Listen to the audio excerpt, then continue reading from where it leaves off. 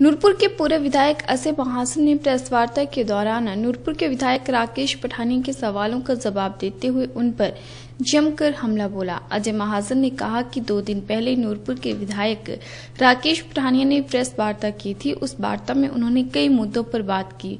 मुझे बहुत हैरानी होती है कि एक जिम्मेदार आदमी और जिम्मेदाराना बातें कैसे कर सकता है। ये राजनीति का स्तर बहुत नीचे लेकर आने की कोशिश कर रहे हैं। विधायक राकेश पठानिया ने कुछ सवाल मुझसे पूछे हैं और जवाब मांगा है। सबसे पहले फिना सिंह स्कीम की बात की है। राकेश पठानिया ने कहा कि मेरी गैर जिम्मेवारी के कारण फिना सिंह स्कीम के लिए पैसा नहीं आया। मैं उनको बताना चाहता हूँ कि 102 करोड़ रुपए मेरे समय में सैंक्शन हो चुका था। अक्टूबर 2017 तक इसमें 103.50 करोड़ रुपए आ गया था, जिसके बाद आचार संहिता लग गई थी। फरवरी 2018 में 102 करोड़ रुपए खर्च भी हो गए हैं। सेंटर शेयर जो होता है, वह 50 प्रतिशत आता है। 204 करोड़ का प्रोजेक्ट था, जिसमें 102 करोड़ रुपए खर्च हो गए थे। फरवरी में इसका इस्तेमाल करने का पैसा था, वह भी हो गया था। मैं कहना चाहता हूँ कि शायद विधायक अपने मंत्री पद के लिए भाग रहे थे। विधायक को फिनांसिंग स्कीम तो कहीं भी नज़र नहीं आई। आज केंद्र में भाजपा की सरकार है। मुझे समझ नहीं आता कि नूरपुर से क्यों अनदेखी हो रही है, जो इतनी महत्वपूर्ण स्कीम है। उसका सारा पैसा खर्च हो गया था। 102 करोड़ रुपए अब जो 50 प्रतिशत केंद्र सरकार द्वारा दिया जाना है, जो अब मौजूदा विधायक हैं, उनकी ड्यूटी बनती है और विधायक इधर उधर की बातें कर रहे हैं। असल में ये स्कीम स्वर्गीय संत महाजन का सपना था जो साकार होने की तरफ़ में अपने, अपने समय में लेकर गया था। पिछले तीन महीने के अंदर क्या हुआ जहाँ पर एक हेड ड्राफ्टमैन है उसका भी तबादला कर दिया गया। जीप भी दूसरी जगह भेज दी गई। एक्शन भी ट्रांसफ़र हो गया और एक एसटीओ भी ट्रांसफ़र हो गया। फिनांसिंग स्कीम का क्या मज़ाक बन गया है? तकरीबन दो दिन पहले माने यहाँ के जो विधायक हैं राकेश थानिया जी ने एक प्रेस वार्ता की थी और उसमें उन्होंने कई मुद्दे, मुद्दों के ऊपर बात की।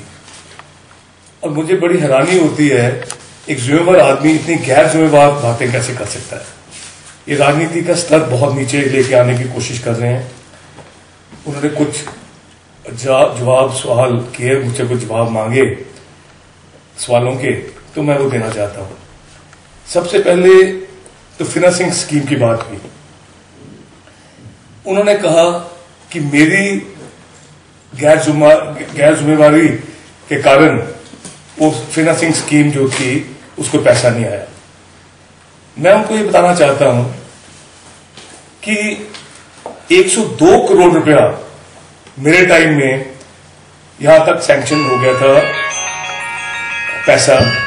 और ये अक्टूबर 2017 तक इसमें एक सौ तीन पॉइंट पचास करोड़ रुपया आ गया था।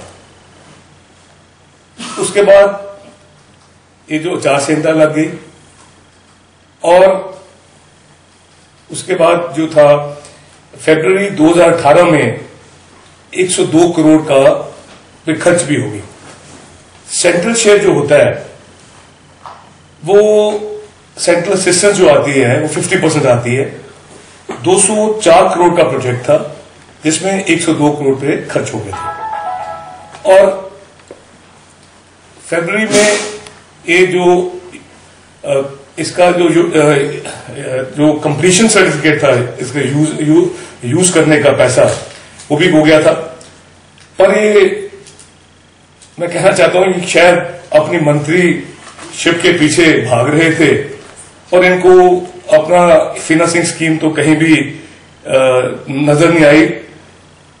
एक टनल इंस्पेक्ट करने चले गए और फिनांसिंग स्कीम की इंस्पेक्शन तो कर दी। पर उनको यह भी इंस्पेक्शन करनी चाहिए थी कि क्या यूज़र सर्टिफिकेट इमीडिएटली भेज दिया जाए सेंट्रल गवर्नमेंट को। वो किया नहीं। और आज सरकार जो है बीजेपी की सेंटर में है। मुझे नहीं लग, मुझे नहीं समझ आती क्यों नूरपुर चंद देखी हो रही है।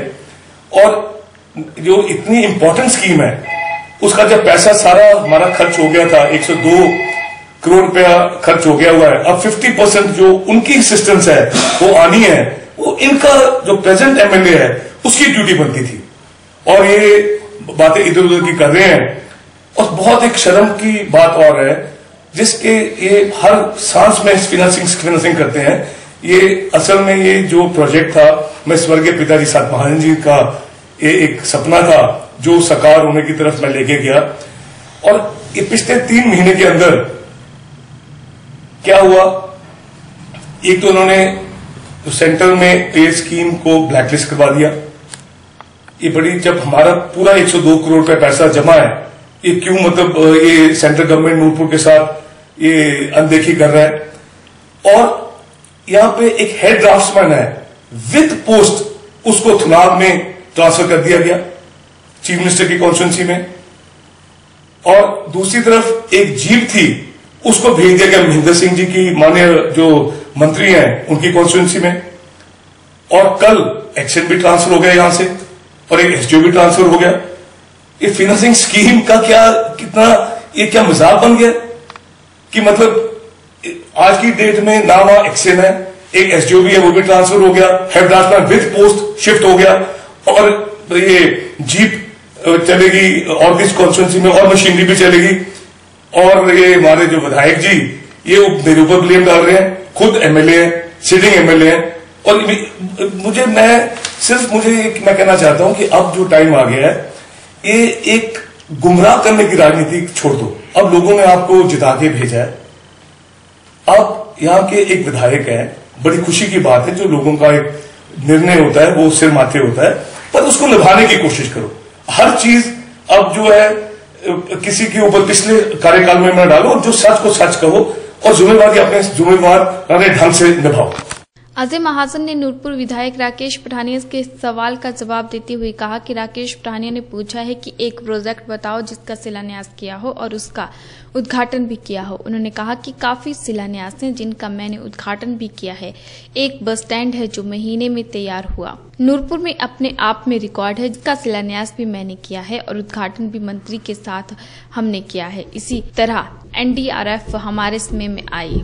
अजय महाजन ने कहा कि राकेश पठानिया ने जितने चुनाव भी लड़े हैं, जिला के ऊपर लड़े। मुख्यमंत्री नूरपुर दौरे पर आए तो विधायक ने जिला की बात तक नहीं की। जब उन्होंने प्रेस वार्ता की तो उन्होंने कहा कि नूरपुर जिला बनना मेरी दृष्टि में है। अजय महाजन ने कहा कि पिछले 25 वर्ष में जिला काफ़ी दृष्टि में है। ये आपकी दृष्टि से निकलकर धरातल पर कब आएगा? अजय महाजन ने कहा कि फोर लाइन के जो प्रभाव होंगे, उनके लिए हमारी कुछ डिमांडें थी। हमने कहा, अगर एक बाईपास बन जाए, कंडवाल से लेकर बोर्ड तक तो अनेकों परिवार बच जाएँगे हज़ारों वृक्ष बच जाएँगे और बहुत सारे लोग सड़कों पर आने से बच जाएँगे। इसकी एक कमेटी कांगड़ा के सांसद शांता कुमार से मिल, मिलकर आई। इसके बारे में चर्चा की।